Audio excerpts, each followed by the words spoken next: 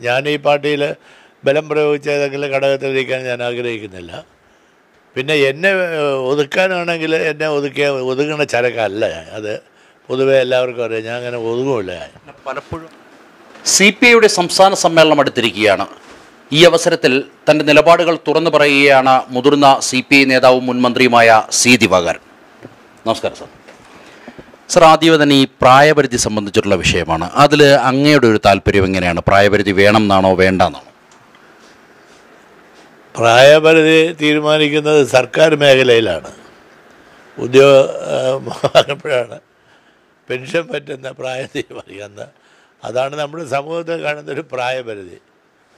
മറ്റ് ഒരു കാര്യത്തിനും പ്രായപരിധി ഉള്ളതായിട്ട് ഇതുവരെ നമ്മുടെ സമൂഹത്തിൽ അങ്ങനെ ഒരു വ്യവസ്ഥ കാണുന്നില്ല. മാത്രമല്ല പ്രായമേറിയ ആളുകളെ ബഹുമാനിക്കുകയും അവരെ അംഗീകരിക്കുകയും അവരുടെ ഉപദേശങ്ങൾ സ്വീകരിക്കുകയും അവരുടെ നിർദ്ദേശങ്ങൾ അനുസരിക്കുകയും ചെയ്യുന്ന ഒരു സംസ്കാരമാണ് നമുക്കുള്ളത്. ഇത് സി പി ഐയുടെ സമ്മേളനത്തിന്റെ പശ്ചാത്തലത്തിൽ ഇങ്ങനെ ഒരു വിവാദം എങ്ങനെ ഉണ്ടായെന്ന് എനിക്കറിയില്ല. സി പി ഐയുടെ ദേശീയ നേതൃത്വം സമ്മേളനങ്ങൾ നടത്തുമ്പോൾ സ്വീകരിക്കേണ്ട ഒരു മാർഗനിർദ്ദേശം കൊടുത്തിട്ടുണ്ട്. തീരുമാനമില്ല. ആ മാർഗനിർദ്ദേശത്തിൽ ഒന്നാണ് ഇരുപത് ശതമാനം ആളുകൾ പുതിയതായിട്ട് വരണം ഇരുപത് ശതമാനം ആളുകൾ പോവുക സ്ത്രീകൾക്ക് നല്ല പ്രാതിനിധ്യം കൊടുക്കണം പതിനഞ്ച് ശതമാനം കൊടുക്കണം. യുവജനങ്ങളെ പ്രൊമോട്ട് ചെയ്യണം പട്ടികജാതി പട്ടികവർഗക്കാരെ പ്രൊമോട്ട് ചെയ്യണം. ഉപദേശങ്ങളാണ് ഗൈഡ് ലൈൻ ആണ്. തീരുമാനമില്ല. എഴുപത്തഞ്ച് വയസ്സ് ഒരു ഡെഡ് ലൈനാക്കിയിട്ട് അത് കഴിഞ്ഞാൽ പിന്നെ ഉപരിഘടകത്തിലൊന്നും പാടില്ല സീക്രട്ട് പാടില്ല അങ്ങനെ തീരുമാനം ഞാൻ അന്വേഷിച്ചപ്പോൾ അതിന്റെ ജനറൽ സെക്രട്ടറി തന്നെ പറഞ്ഞത് അങ്ങനെ തീരുമാനമൊന്നുമില്ല. സമ്മേളനം ഗൈഡ് ലൈന് പൊതുവേ എല്ലാ സമ്മേളനത്തിനും കൊടുക്കും അതൊരു തവണ ഞങ്ങൾ കൊടുത്തിട്ടുണ്ട്. അതിൽ ഈ എഴുപത്തഞ്ച് ശതമാനം എഴുപത്തഞ്ച് വയസ്സായവർക്ക് അവർക്ക് അവരുടെ കാര്യം വേണോ വേണ്ടോ അതാത് പാർട്ടി ഘടകം തീരുമാനിക്കുക. കേരളത്തിലിപ്പോൾ ഒരു സമ്മേളനം നടക്കുന്നുണ്ടാണ് ഇത് വളരെ ലൈവായത്. ഈ മുതിർന്ന നേതാക്കൾ അതേപോലെ തന്നെ പലരും പാർട്ടിയുടെ വെട്ടിനിരത്തലിന് വിധേയമായിട്ടുണ്ട്. അങ്ങനെ ഒരു വെട്ടിനിരത്തൽ നയത്തിന്റെ ഭാഗമാണോ ഇപ്പോൾ പെട്ടെന്ന് ഇങ്ങനെ ഒരു പ്രായപരിധി കൊണ്ടുവന്നതിന്റെ പിന്നിൽ നിന്ന് തോന്നുന്നുണ്ടോ? വെട്ടാനും നിരത്താനും കഴിവുള്ളവരാരും സി പി ഐയിൽ ഇപ്പം ഇല്ല. അത് വേറെ പാർട്ടിയിലാണ് വെട്ടലും നിരത്തലൊക്കെ. ഞങ്ങളുടെ പാർട്ടിയിൽ അങ്ങനെ ആരും ആരെയും വെട്ടാനും പറ്റില്ല നടത്താനും പറ്റില്ല. ഞങ്ങൾക്ക് എല്ലാവർക്കും ഞങ്ങളുടേതായിട്ടുള്ള സ്പേസുള്ള ഒരു വ്യക്തിത്വമുള്ള ആളുകളാണ്. അപ്പോൾ എഴുപത്തഞ്ച് വയസ്സ് എനിക്ക് എഴുപത്തഞ്ച് വയസ്സ് കഴിഞ്ഞു. ഞാൻ ഈ പാർട്ടിയിൽ ബലം പ്രയോഗിച്ച ഏതെങ്കിലും ഘടകത്തിലിരിക്കാൻ ഞാൻ ആഗ്രഹിക്കുന്നില്ല. പാർട്ടി ഏകണ്ഠമായിട്ട് തീരുമാനിക്കുന്നു അങ്ങനെ വേണ്ട എന്ന് തീരുമാനിച്ചാൽ ആദ്യം അംഗീകരിക്കുന്നത് ഞാനായിരിക്കും. എനിക്കിതിനകത്ത് മത്സരമൊന്നുമില്ല. പിന്നെ എന്നെ ഒതുക്കാനാണെങ്കിൽ എന്നെ ഒതുക്കിയ ഒതുക്കുന്ന ചരക്കല്ല ഞാൻ. അത് പൊതുവെ എല്ലാവർക്കും അറിയാം. ഞാൻ അങ്ങനെ ഒതുങ്ങുമില്ല പലപ്പോഴും അങ്ങനെ ഒതുക്കാൻ നോക്കിയിട്ടില്ലേ? മണ്ഡലങ്ങൾ മാറിത്തന്നും അങ്ങനെ പല സന്ദർഭങ്ങളിലും. അതല്ല മണ്ഡലം മാറി തന്നതോടുകൂടി ഞാൻ കേരളത്തിലെ ശക്തനായ കരുത്തനായ നേതാവായി. കാരണം ഏത് മണ്ഡലത്തിൽ നിന്നാലും ഇയാൾ ജയിക്കും എന്നുള്ളത് വന്നു. അത് ആരാ എന്തുദ്ദേശിച്ചാണോ എന്നെ മാറ്റിയത് അവർക്ക് പറ്റിയ അബദ്ധമാണ്. കരുതാപ്പള്ളി രണ്ട് തവണ ഒരു തവണ രണ്ട് തവണ. മൂന്നാമത്തെ തവണ അവിടെ നിന്ന് വീണ്ടും ഞാൻ ജയിക്കുക. അവിടെ നിന്ന് പെട്ടെന്ന് ഞാൻ നെടുമങ്ങാട്ട് വരുമ്പോൾ ഒരു ശക്തനായ എതിരാളിയാണ് ഞാൻ നേരിട്ടത്. ഡെപ്യൂട്ടി സ്പീക്കറായിരുന്ന അദ്ദേഹത്തെയാണ് ഞാൻ നേരിട്ടത്. അപ്പോഴും ഞാൻ ജയിച്ചു. അപ്പോൾ പലരും എന്നോട് ചോദിച്ചതിന്റെ സീക്രട്ട് എന്താണ്? സീക്രട്ട് ഒന്നുമില്ല എന്നെ ആളുകൾക്ക് ഇഷ്ടമാണ്. ഞാൻ എനിക്ക് വോട്ട് ചെയ്യും അത്രേ ഉള്ളൂ. അവിടെ എനിക്ക് എന്നെ ഒതുക്കാനൊന്നും ഒതുക്കിക്കൊണ്ടല്ല അവരങ്ങനെ തീരെ. അങ്ങനെ ഉദ്ദേശം ഉണ്ടായിരുന്നെങ്കിലും അത് നടക്കാതെ പോയി എന്നുള്ളതാണ് നിരാശ. ഈ ഇപ്പോഴത്തെ ഈ പ്രത്യേക രാഷ്ട്രീയ സാഹചര്യത്തിൽ സംസ്ഥാനത്തൊരു നേതൃമാറ്റം അനിവാര്യമല്ലേ?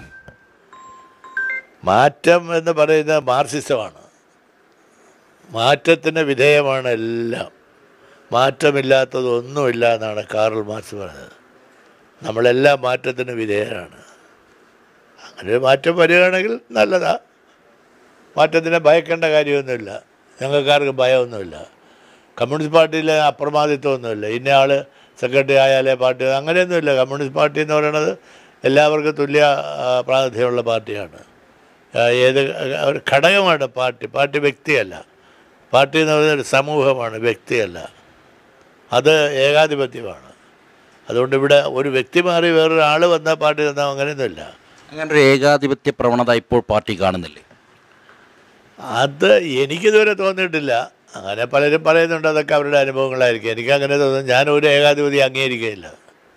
ഞാൻ തന്നെ ഒരു ഏകാധിപതിയാണ്. പിന്നെ ഞാൻ പിന്നെ അംഗീകരിക്കണം. ഈ ഇപ്പോഴത്തെ ഒരു രാഷ്ട്രീയ സാഹചര്യം അത് സി പി ഐക്ക് അനുകൂലമായി നിൽക്കുന്നൊരു രാഷ്ട്രീയ സാഹചര്യമാണോ? അത് വളരെ ഗൗരവമുള്ള ഒരു ചോദ്യമാണ്. പൊതുവേ ഇന്ത്യയിലെ ഇടതുപക്ഷ പാർട്ടികൾക്ക് ക്ഷീണം സംഭവിച്ച ഒരു കാലാവസ്ഥയാണ്. ആ ക്ഷീണത്തിൽ നിന്ന് കരകയറാനാണ് എല്ലാവരും കൂടി ശ്രമിക്കുന്നത്.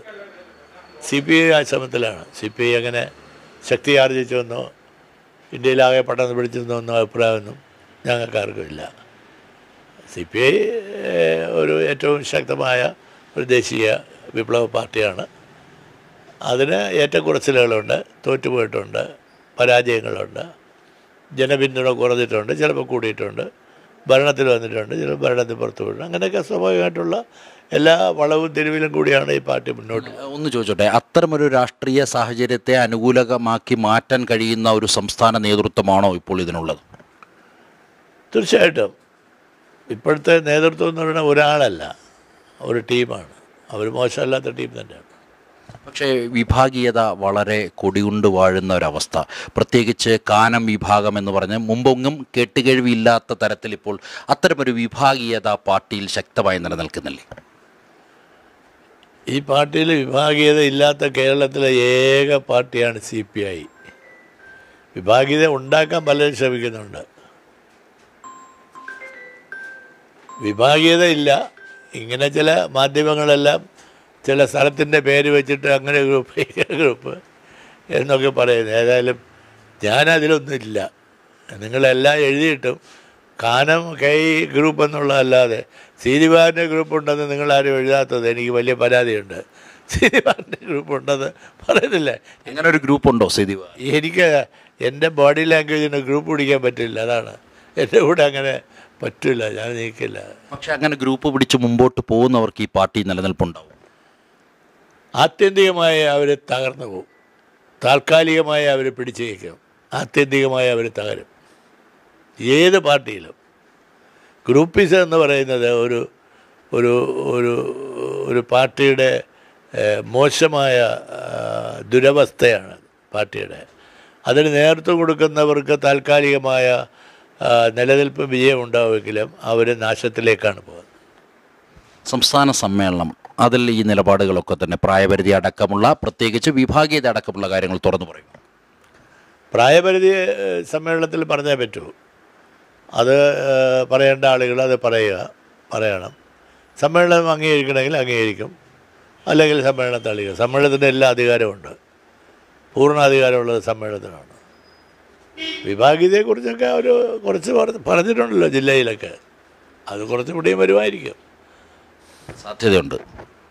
ചിലപ്പോൾ വരും ചിലപ്പോൾ ഒന്നും വരാതെ പോകും. ഏതായാലും എന്നും നിലപാടുകൾ തുറന്നു പറഞ്ഞിട്ടുള്ള വ്യക്തിയാണ് സി ദിവാകരൻ. ഇപ്പോൾ സി പി ഐയുടെ സംസ്ഥാന സമ്മേളനത്തിന് മുന്നോടിയായി അദ്ദേഹത്തിന്റെ നിലപാടുകൾ തുറന്നു പറഞ്ഞിരിക്കുകയാണ്. ഇനി ഇത് കേരള രാഷ്ട്രീയം തീർച്ചയായിട്ടും ചർച്ച ചെയ്യുമെന്നുള്ള കാര്യത്തിൽ സംശയമില്ല. തിരുവനന്തപുരത്തു നിന്നും ക്യാമറാമാൻ രഞ്ജിത്ത് മോഹനൊപ്പം എസ്. നന്ദഗോപൻ ജനം.